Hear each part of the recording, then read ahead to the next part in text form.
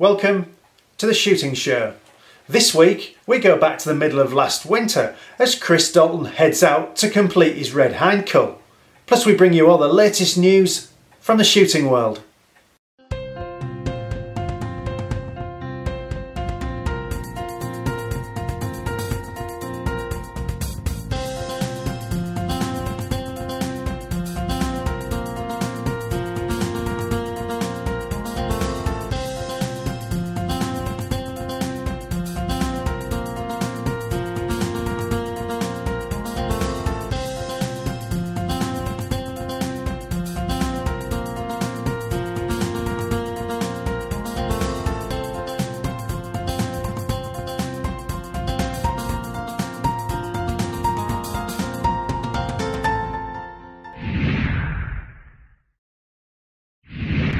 Okay, we're uh, I'm up at Kinnaird with Graham, and um, that is three days ago with a blackthorn, one blackthorn. I've never experienced pain like it in my life.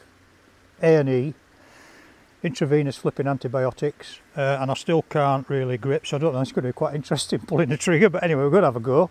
I've had to wear oversized gloves because I can't get normal sized gloves on, and I don't know how the heck I'm going to gralloch it because I can't grip my knife. But anyway, not whinging. Uh, be careful about blackthorn anyway, as I said, we're up at we're up at Kinnaird again now. We've got some clients coming in a couple of days' time, so we're going to try and get out quite early on the hind cull. It's a lovely day up here actually, so we're going to try and get up on the hill. Um, wind's kind of coming quite nicely, so we're going to go around up a gully. We'll take the bike out initially and see what we can see. Graham's had a training course on the camera, so it'll be a lot better this time. So he tells me. We shall wait and see.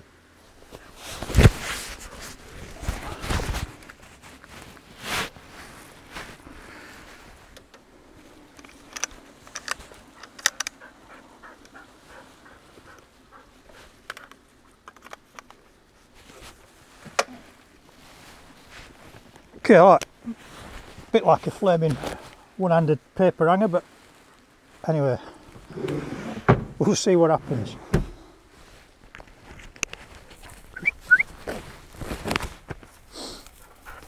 Fairly early on the hinds, up with Graham. Um, quite interesting on this one because you'll see what we're talking about about needing to wear good quality clothing on the hill because we start off in lovely conditions I think we probably nearly had almost four seasons in, in, in what, two, three, four hours of filming. So it's really quite interesting and definitely demonstrates the benefit of really, really good kit.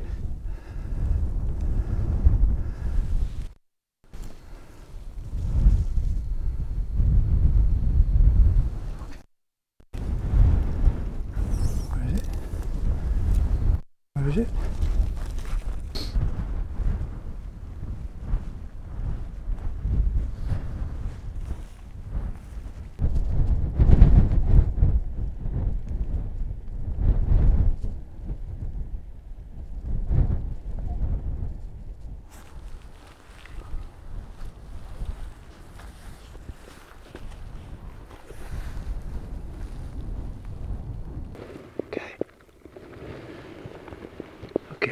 Some hinds we're trying to get into which are just round the corner. Fairly easy stalk. Just onto that next ridge and then we've got a shot but there's also a group of hinds laid in the heather right on the skyline up above us. Red's being red's in a really good position which is kind of snooking me. Because I just don't see how we can just get past it. Everything's perfect. Wind's perfect. Sun's gone down. But now we've got a group up here that are uh, gonna be tricky. It's about 180 yards, fairly easy shot, young stag, a couple of hinds, there's a few more on the back of the hill. Initially looked as if they might just work off the sky, clearly there was no safe shot. But just looked as if they might just drop down, I was hoping he'd come down the ridge, just give us a bit of a backstop, but clearly they've got other ideas. We're trying to get around the wind, it's kind of coming around the hill. There's quite a lot of reds out there. So we're in the process of working around to see if we can get into them, but we've got to be mindful that on the way there's probably other deer just rested. It's a bit sheltered in here so we might encounter others. So you've got to be a little bit careful on the way around but a little bit unlucky there that we, uh, we didn't get the chance. But anyway we'll press on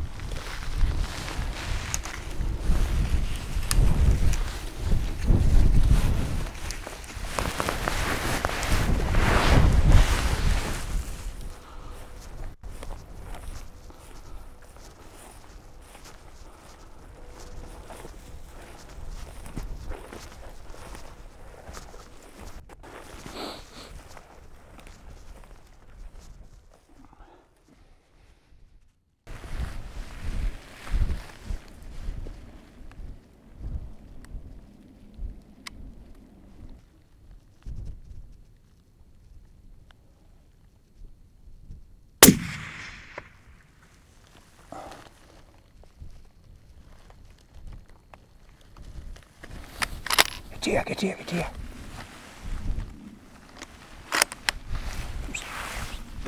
Come on, here. See the hinds just disappearing off the top of the ridge. We're probably, oh, I was going to take a second hind out of there actually. There was a hind, a couple of calves and a, a yearling hind, but the one in front was an old, it's probably down, an old hind, no calf. So I'll take the old hind first. It's actually quite a tricky shot. It's blustery as anything here. It was actually 245 yards, um, but, but I did give it a, a smidgen, a smidgen right and a smidgen high because the wind's whipping down this valley. But I mean, you could see that's that's bang on the money. You saw the the leg just go. It indicates a, a heart lung shot. Um, had to wait quite a while for it to turn on. Ordinarily, we'd have probably got another one out of that group, but they, they kind of went back a little bit and then up, and you start to get towards the ridge. You know, you, you, you, all right, wasn't maybe it wasn't unsafe, but it's just it's just not worth chancing. And and they were starting to push out, you know, 280, 300 yards. And comes a time when you start to increase the risk in the shot, so it's just not worth taking it. We've got a deer on the deck; it's dead we don't want to sort of try and do something that's pushing it a little bit and then wound a deer. So we'll let everything settle down now and we'll uh, we'll go across. Show me. Where's it? Where's it? Show me. Show me. Show me. Good girl. Good girl. Good lass. Good lass. Okay, dead. Dead.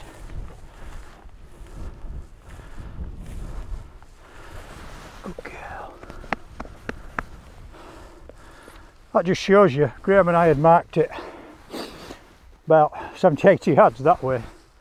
So we'd have been looking over there would have found it but again it's amazing how you get disorientated just in, in heather you've got no point of reference. So we're in the area but we weren't walking straight to it. It's just handy having madam here. Yeah good old hind. Good one to take. Yeah a quick look obviously good nick. Oh, bumps lumps no brakes, it's big big old hind. No calf. Yeah, quite a bit of teeth wear on there. Yeah, good old girl. She's had a good innings. Traditionally on the hill we would do a hill gralloch, field gralloch, whatever you want to call it, and basically that would involve bleeding the animal, opening the, the throat, not in the esophagus, the food pipe, and then basically pulling it through. A small body incision uh, to pull e, essentially the gralloc out, so the intestines and the stomach, and then the tube intact, and then you tie off the, the anus and pull that forward. So basically all of this area would be intact and so would all of this area. That's, that's obviously to when you're involved in a long drag, you're not getting contamination within the carcass. Here on most of this estate I can get the bike. So we do a full gralloc on the hill, it's a lot more convenient, it's cleaner, the deer starts cooling sooner, so we essentially we take everything everything out. So what we've done here is we've basically opened up the uh, bled opened up the, the, the stomach area. I've opened up the chest cavity so I can take all the diaphragm heart lungs throat all out. I've opened up the pelvic area with the bone saw. So basically I can take the anus all forward. So essentially everything from this deer will roll this way actually using gravity but everything will come out. The only thing kind of holding that in now is the diaphragm skirt and then the connect connective tissue around the back on the uh, where the fillets are. So essentially we roll the whole lot out, that's really clean. Um, and while we're going back to get the bike, I suppose the temperature, it's a bit milder today, it's probably about five or six degrees. That's just here, that's cooling. Um, and we straight on the bike, straight back to the chiller, straight in the larder. So that's a really clean carcass. But if you were having to drag, clearly you couldn't do a gralloch to this extent. Part your examination for level two, spleen plum coloured, no discoloration. That will be an anthrax indicator. Never been known in UK deer, but I mean, obviously about twice the size of the liver. Um, kind of a plummy colour. That sort of shape, that's in good order. There's obviously nothing unhealthy whatsoever with this carcass. There's your mesenteric lymph node chain, covered in fat really. No swelling, no gritty, no pussiness. You want the smooth side of the intestine. Often they, they, they, they're more pronounced, but there's a lot of fat on this animal. What you don't want to be looking on is the Cumberland sausage side. So you've got a Cumberland sausage side, which is the lumpy side. It's the smooth side you want. So you flip it over, and they're in, normally in an unbroken ring, sometimes like little nodules. But they're all healthy. Liver, good order. Very clean, beautiful. No, no marbling and mottling. That might be an indication of liver fluke. Gastric lymph nodes. I mean, you've got a healthy deer. We always split the stomach bag on the hill. We'll leave that for the carrion. Lungs, you're looking for lungworm. Um, again, it would be hardening around the edges and, and sort of cysts, blotchiness, but good healthy deer. Everything about that is spot on. People struggle with the head, I'll do it again. A couple of ways you can attack it. You can come from underneath or you can come from the top. You want to be in the in the bottom edge of the jaw. But if you hold the ears and cut close up, this is where a really sharp knife comes in, close up to the back of the ears, that actually puts you onto the onto the atlas joint and it can, my knife's just kind of going into the atlas joint there and that puts you right onto the flanged bone. And you can just sort of tease that with your knife. You can see that there and tease through that socket there that fits into there. So just basically tease it so you can see the other one now opening up. Not a lot of pressure just just tease it with the edge of your knife. And I'm actually through it almost now so open that flange up and I'm through. So I'll take that back down now to where I've taken the windpipe out. I'll take that all off, I don't want that back in the larder. And basically that's off. So you can see here, these two bones stuck into a cup. Trying to cut it like that won't work. Trying to cut anywhere down the vertebrae won't work. You have to use a saw, but with a knife you can just tease in here, and ease that back and then take the head off. Okay, the weather's really blowing in on us now. Graham's having a real job holding the camera. There's some nasty uh, water blowing in, but we, we, we got into a little group of hinds here tucked in this in, on this ridge out of the rain.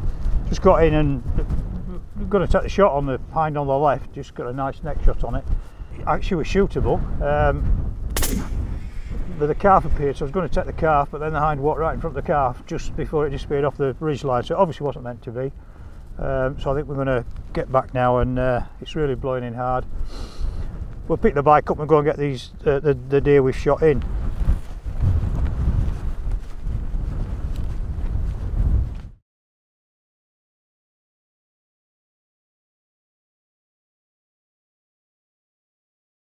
Chris there, finally managing to complete the extraction, and now the shooting show news.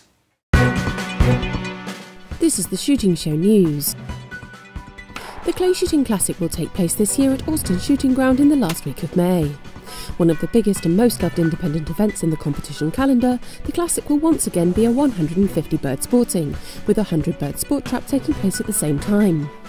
Orston will be using all of their ground for the shoot, including some rarely shot areas, so expect a unique and challenging target presentation.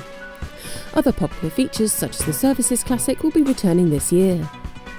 We'll see you at the Classic on the 27th to the 31st of May. The Nottinghamshire Ground will host the full series of clay shooting magazine events this year, with the British Schools and Young Shots Championships also taking place there on the 25th of April. Mark the dates in your diary now. Shooters are having more trouble than ever with the firearms licensing procedure. That's the evidence from BASC's firearms team, who say the number of inquiries they received topped 10,000 last year. The most common issue was police forces taking the law into their own hands and getting applicants to do or pay extra, such as demanding independent medical verification. BASC's Bill Harriman said that with continuing issues surrounding medical verification and the peak renewal period in the five year cycle starting this year, 2020 is set to be just as busy for the firearms team. And finally, there's now just a month to go until the British Shooting Show. The biggest retail and trade event on the UK shooting circuit returns to the NEC on the 14th to the 16th of February, and once again a huge number of manufacturers, suppliers and retailers will be there, covering every corner of the shooting market.